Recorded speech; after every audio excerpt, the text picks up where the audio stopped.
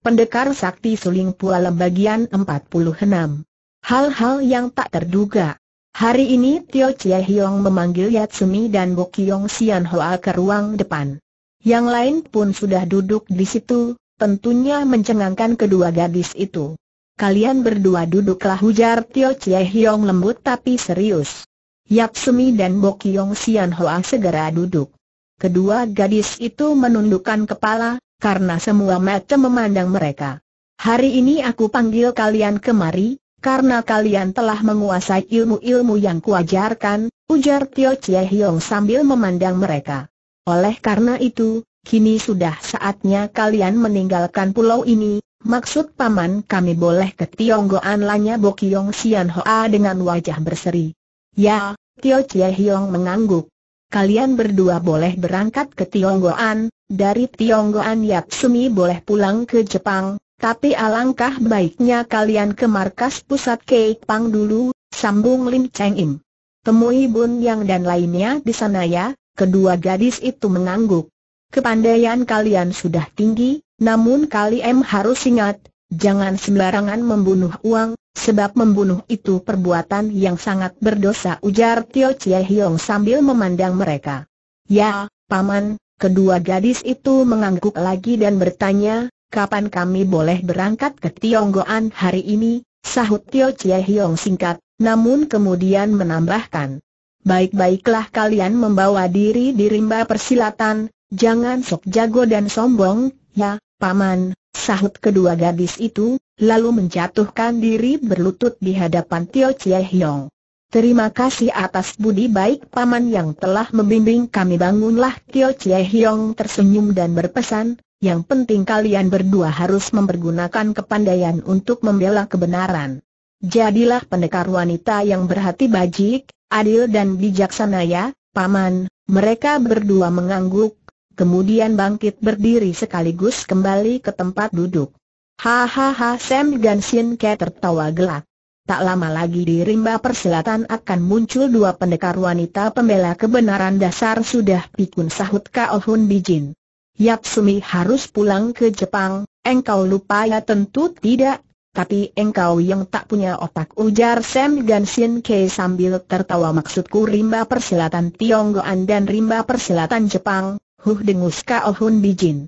Sudah salah omong masih tidak mau mengaku.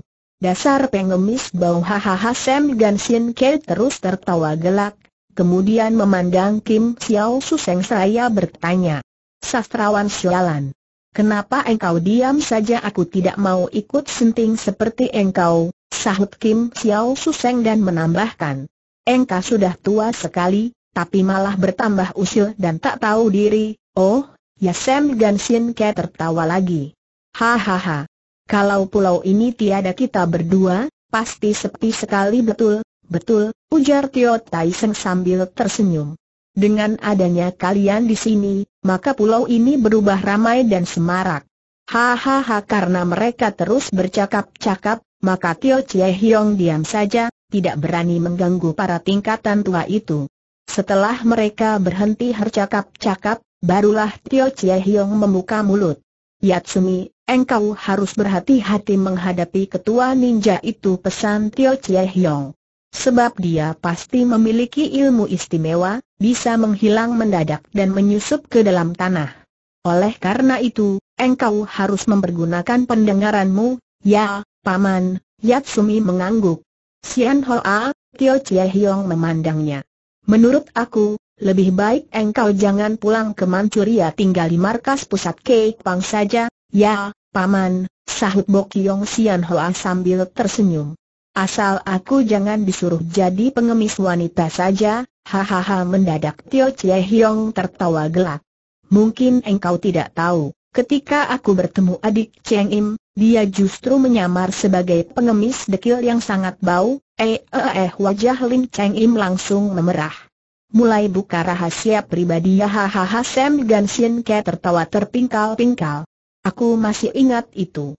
Kemudian Cheng Im berdandan dengan wajah aslinya, yakni merupakan anak gadis yang cantik jelita menemui Chie Hiong.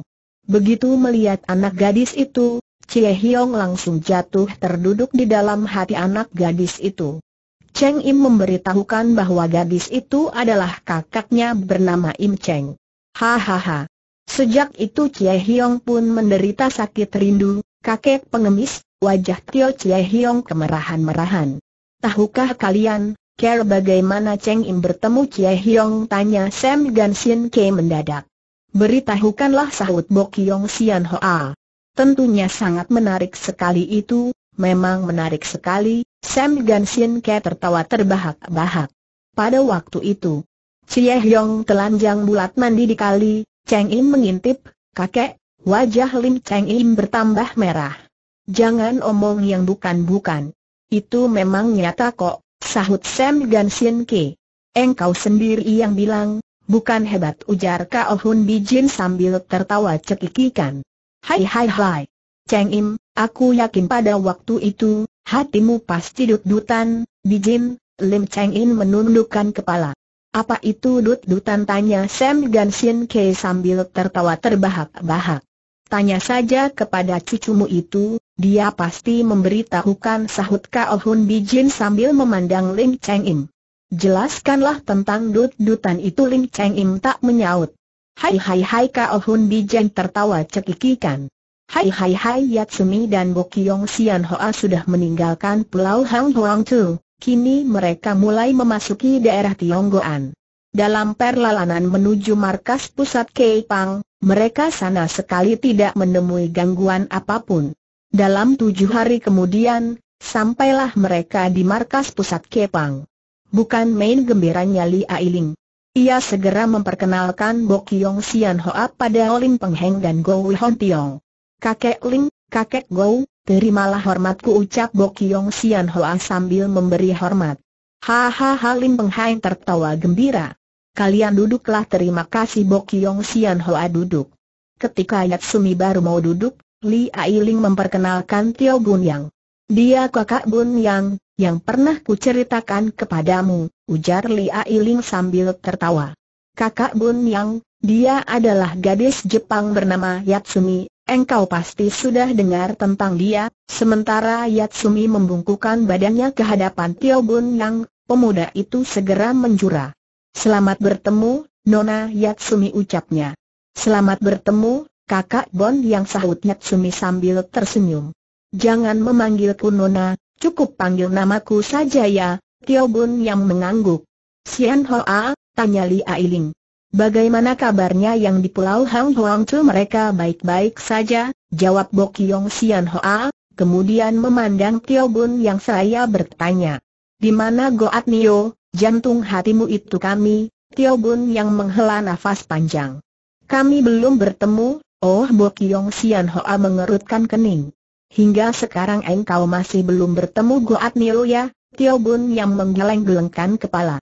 Aku di sini justru sedang menunggunya, oh oh Bok Yong Sian Hoa manggut-manggut.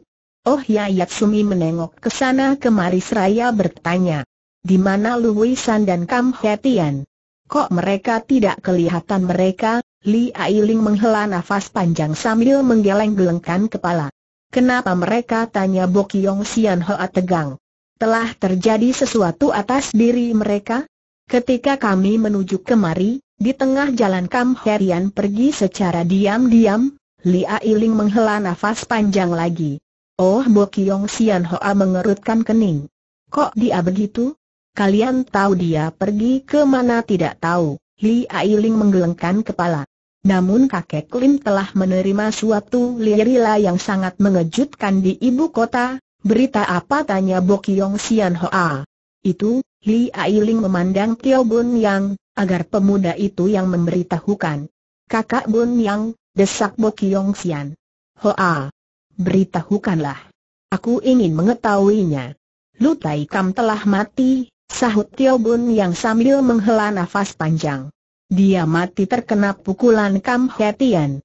Karena itu Lu San pergi entah ke mana. Hingga saat ini sama sekali tiada kabar beritanya tentang Lu San dan Kam Hetian, Oh Bo Kiong Sian Hoa memandang Tio Bun yang saya berkata. Kalau begitu, pasukan pamanku pasti tidak akan menyerbu kemari, Sian Hoa, Tio Bun yang menggeleng-gelengkan kepala. Setelah Lu Tai Kam mati di istana justru malah bertambah kacau, kenapa begitu Bok Yong Sian Hoa heran. Salah seorang menteri langsung merebut kekuasaan Lu Tai Kam. Oleh karena itu, banyak jenderal yang menjadi korban, Tio Bun yang memberitahukan. Menteri itu pun bersekongkol dengan pamanmu. Itu bahaya sekali, ujar Bok Yong Sian Hoa. Sebab pamanku sangat berambisi ingin menjajah negeri Han ini, kelak pasti akan terjadi peperangan, itu urusan kerajaan, kita tidak usah pusing, ujar Lia Iling sambil tersenyum. Kita adalah bangsa Han, Seharusnya kita aja memikirkan itu, sahut Xie Keng Hau dan menambahkan. Apakah kita harus membiarkan negeri hari kita dijajah oleh bangsa Manchuria? Eh, eh, eh Lia menatapnya. Sejak kapan engkau mencampuri urusan kerajaan aku? Xie Keng Hau menundukkan kepala. Oh ya ujar Tio Bun yang melanjutkan.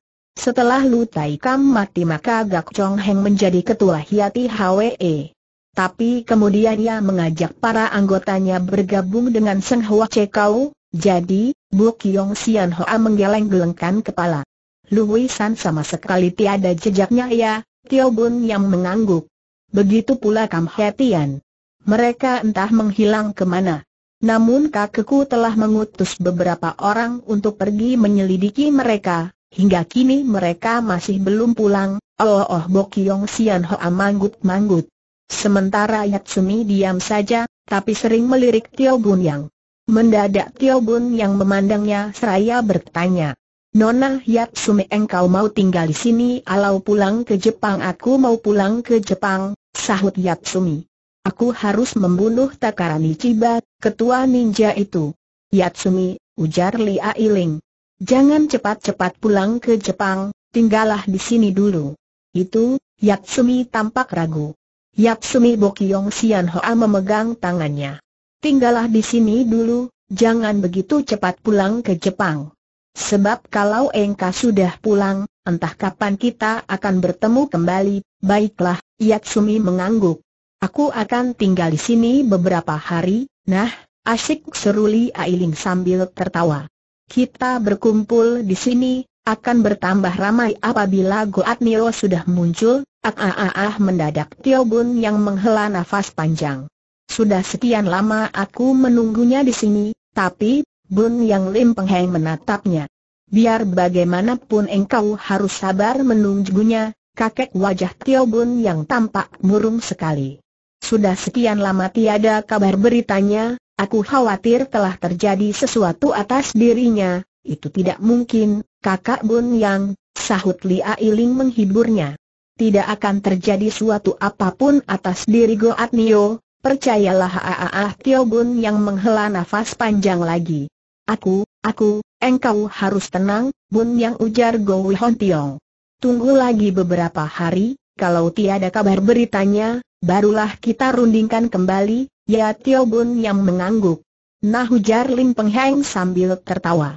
Kalian semua boleh ke belakang, lebih asyik kalian mengobrol di sana, mereka mengangguk, lalu beranjak menuju halaman belakang.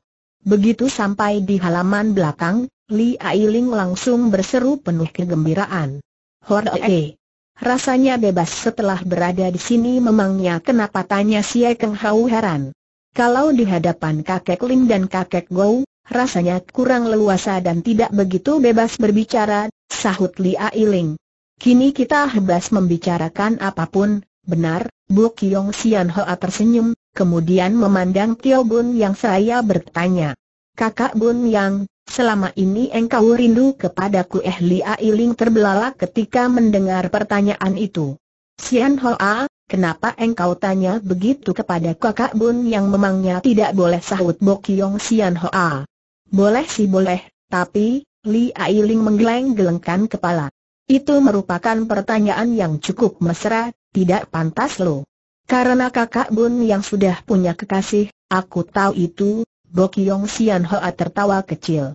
Aku telah menganggapnya sebagai kakak, tentunya aku boleh bertanya begitu kepadanya, bukan oh oh Li Ailing tersenyum.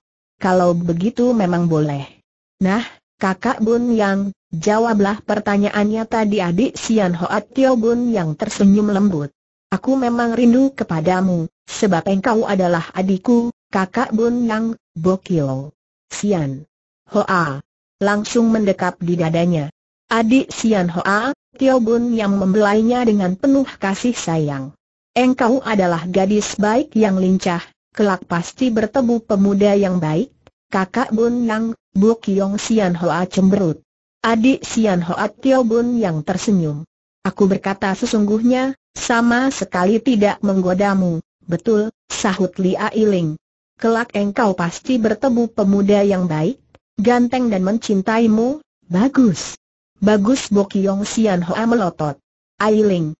Setelah berada di sisi Keng Hau, engkau pun berani mulai menggodaku tidak salah, sahut Lia Iling sambil tertawa dan menambahkan. Kalau berada di sisi Seng kekasih, rasanya memang bertambah berani, Idi Bok Yong Sian Hoa tertawa geli. Dasar genit. Kalau begitu, cepatlah engkau menikah dengan dia sebetulnya aku memang ingin cepat-cepat menikah dengan Keng Hao, tapi, Li Ailing tersenyum sambil melanjutkan, aku khawatir kalian akan merasa iri padaku, maka aku dulu mau menikah, siapa yang iri padamu? Dasar Bokyong Sian Hoa tertawa, kemudian ucapnya serius. Mudah-mudahan kakak Bun yang bertemu kembali dengan kekasihnya hari ini Toan Beng Kiat dan Lem Kiong Soat Im sudah tiba di markas pusat Kepang. Kelayangan mereka cukup mengejutkan sekaligus menggembirakan semua orang, terutama Go Tiong. Kakek panggil Toan Beng Kiat. Beng Kiat cucuku seru Go Hon Tiong sambil merangkulnya erat-erat. Bagaimana keadaan ibu dan ayahmu? Mereka baik-baik saja? Ibu baik-baik saja. Tapi ayah, Toan Beng Kiat menggeleng-gelengkan kepala, dan wajah tampak murung sekali. Kenapa ayahmu tanya Go Hon Tiong cemas? Lumpuh, Toan Beng Kiat memberitahukan. Ayah Soatlan pun begitu, betul, Lam Kiong Soatlan mengangguk. Ayahku pun lumpuh, Oh Go Hon Tiong dan Lim Peng Hai terkejut. Beng Kiat, apa yang telah terjadi di sana, ceritakanlah kalian duduk dulu ujar Tio Bun yang sambil tersenyum. Jangan terus berdiri terima kasih ucap Tok An Beng Kiat dan Lem Kiong Soatlan serentak lalu duduk. Beng Kiat Go Hon Tiong menatapnya seraya berkata, Ceritakanlah apa yang telah terjadi atas diri ayahmu dan ayah Soatlan ayah dan ayah Soatlan bertanding dengan seorang gadis. Tidak sampai 20 jurus, gadis itu berhasil menotok jalan darah ayah dan ayah, Soatlan hingga lumpuh, Toan Beng Kiat menceritakan tentang itu. Kemudian muncul guru kami, maksudmu Tai Lilo Cheng tanya Go Hon Tiong. Ya, Toan Beng Kiat mengangguk. Lalu bagaimana tanya Lim Peng Hai tertarik. Gadis itu menantang guru bertanding dengan suatu syarat, jawab Tok An Beng Kiat memberitahukan. Syaratnya yakni kalau gadis itu menang, maka dia yang berkuasa di istana Taili. Apabila guru yang menang, dia pasti segera pergi. Oh Go Hon Tiong mengerutkan kening. Kalau begitu, guru kalian yang kalah, bukan kok kakek tahu Toan Beng Kiat heran. Kalau guru kalian menang, tentunya kalian tidak kemari, sahut Go Hon Tiong. Kalian kemari pertanda guru kalian kalah, betul, Toan Beng Kiat mengangguk. Guru kami kalah dalam pertandingan itu, Haa Lim Peng Hai terkejut bukan main, sehingga mulutnya ternganga lebar. Tai Li Lo Cheng kalah bertanding dengan gadis itu ya, Toan Beng Kiat menghela nafas panjang. Kepandaian gadis itu sungguh tinggi. Tapi juga sangat membingungkan, kenapa membingungkan tanya Go Hon Leong heran. Sebab gadis itu mengaku telah berusia 80 tahun lebih, Jawab Lam Kiong Soatlan memberitahukan. Semula guru tidak percaya, tapi kemudian percaya juga, Oh Go Hon Tiong mengerutkan kening. Siapa gadis itu Bu Cheng Sian Litu Xiao Cui, Lam Kiong Soatlan memberitahukan. Dia sangat cantik sekali, kelihatannya baru berusia dua puluhan. Tapi dia telah berusia 80 tahun lebih, dia, dia adalah kakak Xiao Cui Tio Bun yang terbelalak. Betulkah usianya sudah 80 lebih kakak Bun yang kenal dia tanya Lam Kiong Soatlan. Kenal Tio Bun yang mengangguk. Kami pernah bertemu, dialah yang membunuh Hek Sim Kopo. Tapi kenapa dia ke Taili cari gara-gara? Itu dikarenakan guru kami, jawab Tok An Beng Kiat. Tai Li Lo Cheng, gumam Tio Bun Yang. Oh oh oh. Ternyata dia ingin membuat perhitungan dengan guru kalian, karena guru kalian adalah kakak seperguruan Tian Gwe Asin Hiap, siapa Tian Sin Hiap Toan Beng Kiat heran. Adik seperguruan Tai Li Lo Cheng, sahut Tio Bun Yang dan menambahkan. Atau paman guru kalian, juga adalah guru Bu Cheng Sian Li Tu Xiao Cui, kalau begitu, Lam Kiong Soat Lam terbelalak. Bu Cheng Sian Li itu adalah kakak seperguruan kami, memang. Tapi, Tio Bun yang menggeleng-gelengkan kepala. Tian Gwe Asin Hiap telah melakukan suatu kesalahan, kesalahan apa tanya Toan Beng Kiat. Tian Gwe Asin Hiap salah tangan membunuh sepasang perampok budiman. Ternyata sepasang perampok itu adalah kedua orang tua Tu Xiao Cui, Tio Bun yang menceritakan tentang itu. Oh oh Toan Beng Kiat manggut-manggut. Ternyata begitu. Pantas dia ke Taili mencari guru. Tapi, Lam Kiong Soatlan mengerutkan kening. Kenapa dia melumpuhkan ayah dalam suatu pertandingan, memang saling menjatuhkan, sahut Tio Bun Yang. Kita tidak bisa mempersalahkannya. Yang bersalah adalah orang tua kalian. Seharusnya orang tua kalian bersabar, dia begitu sombong, maka ayah tidak bisa bersabar, ujar Lam Kiong Soatlan memberitahukan. Dia berlaku sombong karena ingin memancing emosi ayahmu, karena itu terjadilah pertandingan, Tio Bun yang menjelaskan. Kalau begitu, Selatuan Beng Kiat. Guruku bertanding dengan dia, apakah juga karena emosi bukan? Tio Bun yang menggelengkan kepala. Tai Li Lo Cheng bertanding dengan dia, kawena membela Tai Li dan orang tua kalian, Ah Toan Beng Kiat menghela nafas panjang. Guru kami kalah, maka Bu Cheng Sian Li yang berkuasa di istana, oleh karena itu, sambung Lam Kiong soalan. Guru menyuruh kami kemari menemuimu, Oh Tio Bun yang tertegun dan bertanya.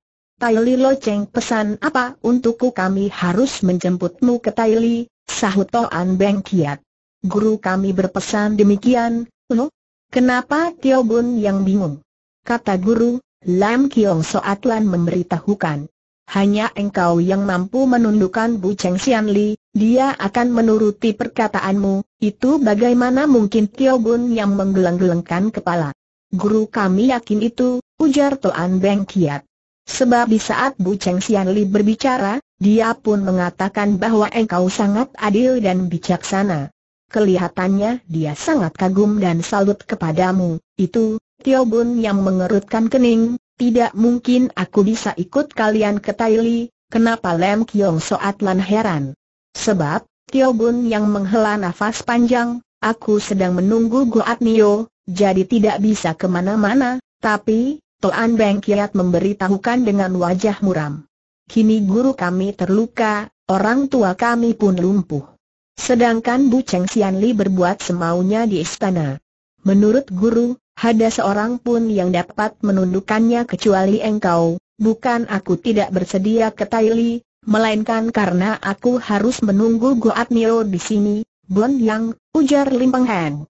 Menurut kakek, engkau harus berangkat ke Taili, kakek, Tio Bun yang mengerutkan kening.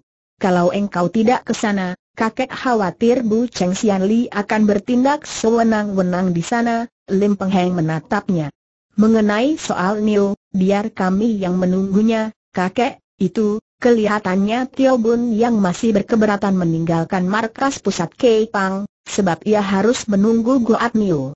Bun yang Lim Peng Hai tersenyum. Selelah engkau bertemu Tai Lo Cheng mungkin engkau bisa minta petunjuk kepadanya mengenai Goat Nio, bukan betul, sahut Lam Kiong Soatlan. Aku yakin guru tahu mengenai Goat Nio, dan pasti memberi petunjuk kepadamu. Tio Bun yang berpikir, lama sekali barulah ia mengangguk. Baiklah. Aku akan ikut kalian ke Taili, terima kasih ucap Tok An Beng Kiat dan Lem Peng Soatlan serentak. Sementara Bok Yong Sian Hoa diam saja. Namun begitu Toat Beng Kiat muncul di situ, sepasang matanya terus melirik ke arah pemuda itu. Kelihatannya gadis itu sangat tertarik padanya maka ketika Tio Hun yang mengatakan ikut Meika ke Taili, ia pun segera menyelak. Kakak Bun Yang, aku juga ikut ah apa Tio Bun Yang terbelalak. Engkau ingin ikut ke Tailia, Bu Kiong Sian Hoa mengangguk sambil tersenyum. Bolehkan itu, Tio Bun Yang tampak ragu. Maaf ucap Tok An Beng Kiat dengan wajah ceria. Bolehkah aku tahu siapa nona namaku Bo Kiong Sian Hoa? Sahut gadis itu dengan wajah agak kemerah-merahan. Bolehkah aku ikut ke Taili tentu boleh, tapi, Toan Beng Kiat menatapnya, orang tuamu memperbolehkan apa tidak? Aku sudah tidak punya orang tua, Bu Kiong Sian Hoa menundukkan kepala. Aku pernah tinggal di Pulau Hang Huang Chuoh Toan Beng Kiat tampak tercengang Nona punya hubungan apa dengan Paman Chie Hiong almarhum ibuku adalah teman baiknya. Maka aku, Beng Kiat Tio Bun yang tersenyum. Dia mantan putri Manchuria, ayahnya bernama Patoho, apa Toan Beng Kiat terperanjat. Raja Manchuria itu ya, Tio Bun yang mengangguk. Kami tahu, Toan Beng Kiat manggut-manggut. Patoho adalah Raja Manchuria yang baik, tapi sudah meninggal karena dibunuh adiknya, kok engkau tahu Bok Kiong Sian Hoa bingung. Sebelum meninggal, ayahmu pernah berkunjung ke Taili menemui kakekku, Toan Beng Kiat memberitahukan. Kakekku adalah Toan Hang Yao oh wajah Bok Kiong Sian Hoa berseri. Kalau begitu, Toan Wei Kiat adalah ayahmu betul, Toan Beng Kiat tercengang. Kok engkau tahu ayahku pernah memberitahukan kepadaku mengenai kalian, tidak disangka kita malah bertemu di sini, ujar Bok Kiong Sian Hoa sambil tersenyum. Nah selali Ailing. Itu namanya berjodoh, Ailing wajah Bok Kiong Sian Hoa langsung memerah. Engkau kok usil si Hei Hai Hai Li Ailing tertawa geli. Aku tahu, engkau sangat tertarik kepada Tuan Beng Kiat, bukan engkau, Bu Kiong Sian Hoa membanting-banting kaki. Engkau jahat Lam Kiong Soat Lan tersenyum, kemudian memandang Li Ailing saya bertanya. Ailing, bagaimana keadaan Kam Herian dan Luwisan mereka? Li Ailing menggeleng-gelengkan kepala. Kenapa mereka Lem Kiong Soat Lan tersentak? Apakah telah terjadi sesuatu atas diri mereka? Lu Tai Kam mati di tangan Kam Heriana. Setelah itu Kam Herian dan Lu Wisan menghilang entah ke mana Jawab Li Ailini sekaligus menutur tentang kejadian itu. Ah ah ah Lem Kiong Soat Lan menghela nafas panjang. Sungguh kasihan Lu Wisan entah bagaimana keadaannya. Aku khawatir dia akan menjadi gila. Benar, Tio Bun yang manggut-manggut aku pun mengkhawatirkan itu, Beng Kiat, tanya Lim Peng Hang mendadak. Kapan kalian akan berangkat sekarang? Jawab Tok An Beng Kiat. Apa Lim Peng Hang terbelalak? Kenapa begitu cepat? Apakah tidak boleh menunggu bel berapa hari memang tidak boleh, sebab guru berpesan kepada kami harus segera pulang ke Taili, Beng Kiat Go Hon Tiong menatapnya. Kalau begitu, lebih baik kalian berangkat esok saja, ya, kakek, Toan Beng Kia tidak berani membantah. Kakek, ujar Tio Bun yang berpesan kepada Olim Peng Heng. Kalau Goat Niro kemari, suruh dia menungguku di sini, jangan menyusul ke Taili. Aku khawatir akan selisih jalan lagi, jangan khawatir Lim Peng Heng tersenyum. Kakek pasti menyuruhnya menunggu di sini.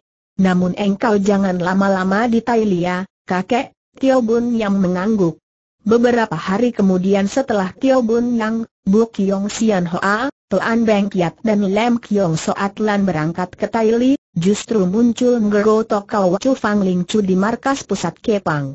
Lim Peng Heng dan Go Hon Tiong menyambut kedatangannya dengan penuh keheranan, namun dengan ramah mempersilakannya duduk. Ling Chu, silakan duduk. Terima kasih ucap Ngero Tokau Chu sambil duduk, kemudian memandang Li Ailing. Engkau berada di sini. Oh ya, di mana Kam Herian dan Lu Wisan mereka? Li Ailing menggeleng-gelengkan kepala, lalu menutur tentang itu dan bertanya. Engkau belum tahu Lu Tai Kam sudah mati sudah tahu, tapi tidak begitu jelas tentang kejadian itu, jawab Ngero Tokau Chu sambil menghela nafas panjang. Ternyata begitu Ling Chuling Pengheng memandangnya seraya bertanya. Engkau kemari tentunya ada suatu penting, bukan betul, Go Tokau Chu mengangguk. Aku ingin menemui adik Bundang. Dia di mana? Dia sudah berangkat ke Taili beberapa hari yang lalu, Lim Peng Hang memberitahukan tentang munculnya Bu Cheng Sian Li di Taili. Oh oh Go Tok Kau Chu manggut-manggut. Aku juga pernah mendengar tentang sepak terjang Bu Cheng Sian Li itu. Banyak penjahat yang mati di tangannya. Tapi dia pun membunuh kaum pesilat golongan putih, termasuk beberapa murid Partai Butong, kami sudah tahu itu, ujar Lim Peng Hang. Oh ya, engkau kemari tentunya ingin menyampaikan sesuatu, bukannya, Go Tok Kau Chu mengangguk. Aku ingin menyampaikan kabar berita tentang Siang Koan Goat Nio. Hah? Apa Lim Peng Hang tersentak? Begitu pula yang lain. Engkau tahu tentang kabar beritanya ya, Go Kau Chu mengangguk. Beberapa bulan yang lalu, Goat Nio ditangkap oleh pihak Seng E Kau. Pat Pai Loko Ai yang mengirim berita itu kepadaku. Pihak Seng E kau menangkap Siang Koan Goat Nio betapa terkejutnya Lim Peng Heng dan Go Hon Tiong. Engkau tahu bagaimana keadaannya di sana dia baik-baik saja. Tapi disekap di dalam ruang batu, Ling Chu Lim Peng Heng menggeleng-gelengkan kepala. Kenapa sekarang engkau baru kemari memberitahukan maaf? Karena aku masih harus mengatur sesuatu, begitu pula Pet Ai, ujar Gergo Tokau memberitahukan. Itu demi keselamatan Siang Koan Goat Nio, Oh Oh Lim Peng Heng manggut-manggut, lalu memandang Go Hon Tiong saya bertanya. Bagaimana menurutmu cukup memusingkan? Sahut Go Hon Tiong sambil menggeleng-gelengkan kepala. Sebab Tio Bun yang tidak berada di sini, kita tidak boleh sembarangan mengambil suatu keputusan, tapi, Lim Peng Heng menghela nafas panjang. Bukankah itu akan membahayakan diri Goat Nio? Tidak, ujar Gero Tokau Chu. Karena Goat Nio cuma dijadikan sandra saja, Ling Chuling Pengheng menatapnya. Menurutmu kita harus bagaimana menunggu, sahut Go Tokau Chu singkat. Maksudmu menunggu Bun yang pulang tanya Go Hon Tiong. Menunggu utusan Seng Hui E kau kemari, sekaligus menunggu adik Bun yang pulang, jawab Gero Tokau Chu sungguh-sungguh. Pihak Seng Hui E kau akan mengutus seseorang kemari tanya Lim Peng Heng sambil mengerutkan kening. Ya, Go Tok Kau Chu mengangguk. Itu sudah dalam rencana Seng Hui E Sin Kun, tapi Go At Nio akan selamat di sana tanya Lim Peng Heng penuh perhatian, namun bernada cemas. Jangan khawatir, Go At Nio tidak akan terjadi apa-apa di sana jawab Go Tok Kau Chu, kemudian memandang Yatsumi Seraya bertanya. Nona ini cantik sekali, tapi dandanannya agak aneh, kakak Ling Chuli Ailing memperkenalkan. Dia bernama Yatsumi, gadis dari Jepang, Oh Oh Go Tokau manggut-manggut. Ternyata pesilat wanita dari Jepang kakak Ling Yatsumi tersenyum. Paman Chie Hyong adalah teman baik ibuku, Yatsumi memberitahukan tentang itu, dan Go Chu mendengar dengan penuh perhatian. Oh oh Go Tokau Chu manggut-manggut lagi. Ternyata begitu, bahkan engkau pernah tinggal di Pulau Hang Huang Paman Chia Hiong mengajarku ilmu silat. Tidak lama lagi aku akan pulang ke Jepang, aku harus membalas dendam, Yatsumi memberitahukan. Aku harus membunuh ketua ninja itu, MGMMM Go Tokau Chu mengangguk. Tapi engkau harus berhati-hati menghadapi ninja, Sebab kaum ninja memiliki ilmu aneh, Paman Chia Hiong sudah memberi petunjuk kepadaku, bagaimana cara menghadapi kaum ninja, ujar Yatsumi dan menambahkan. Aku sangat berterima kasih pada Paman Chia Hiong. Go Tokau Ju tersenyum, kemudian memandang Lim Peng Heng saya berkata dengan wajah serius. Lim Pang Chu pernah dengar tentang sekelompok orang aneh di rimba persilatan sekelompok orang aneh. Maksudmu Lim Peng Heng mengerutkan kening. Ketika aku kemari, aku mendengar suara siulan aneh yang menyeramkan, lalu muncul belasan orang berpakaian serba putih menunggang kuda, mereka memakai kedok setan, engkau melihat mereka tanya Lim Peng Mang terkejut. Ya, Go Tokau Chu mengangguk. Ketika aku mendengar suara siulan aneh yang menyeramkan itu, aku segera bersembunyi di balik pohon limpang cu tahu tentang mereka kalau tidak salah, mereka para anggota Kui Bin Pang, perkumpulan muka setan, jawab Liro Penghang memberitahukan. Oh Go Tokau Chu mengerutkan kening, aku tidak pernah mendengar tentang Kui Bin Pang itu, ah ah ah Lim Peng Heng menghela nafas panjang. Sudah hampir seratus tahun Kui Bin Pang itu lenyap, namun kini muncul kembali entah apa yang akan terjadi,